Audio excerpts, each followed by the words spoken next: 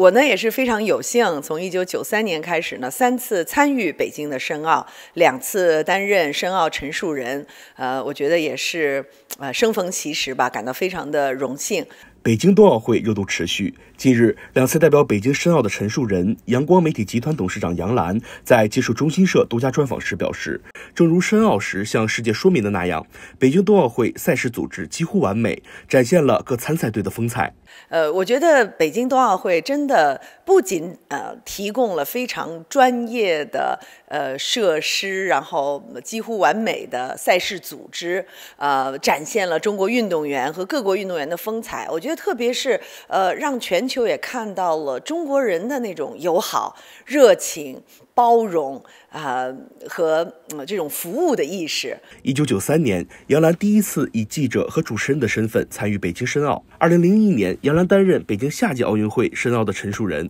二零一五年，杨澜再次成为北京申冬奥的陈述人之一。前后近三十年的时光，杨澜见证了北京成为双奥之城。在我们申冬奥的时候，其实也向这个世界是加以说明的。第一呢，就是运动啊，特别是冰雪运动啊，已经在成为中国人的生活方式，进入了寻常百姓家，而不只属于少数的专业运动员啊。第二呢，就是中国人的这种呃面向世界的呃这种服务的意识、志愿的精神啊，志愿者的精神，我觉得在这次冬奥会上都得到了非常充分的体现。本届冬奥会留给各国媒体印象最深的有运动员们互相鼓励、践行更团结的奥运精神，有中国给予所有运动员的掌声和包容。追着在屏幕前观看比赛的杨澜感慨，这体现的奥运精神前所未有。各国的运动员都感到在这儿有一种宾至如归的感觉，再加上正逢中国的春节，哈，这浓浓的年味儿和这种家庭的那种温暖，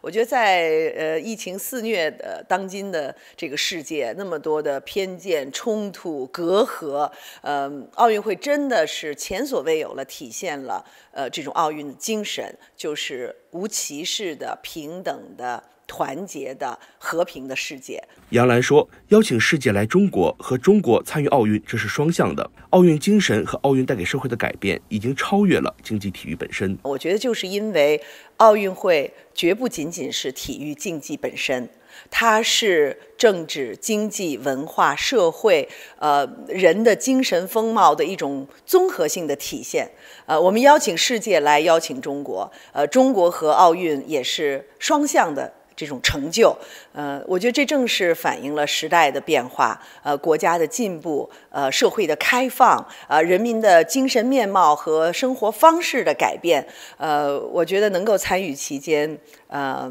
真是生有荣焉。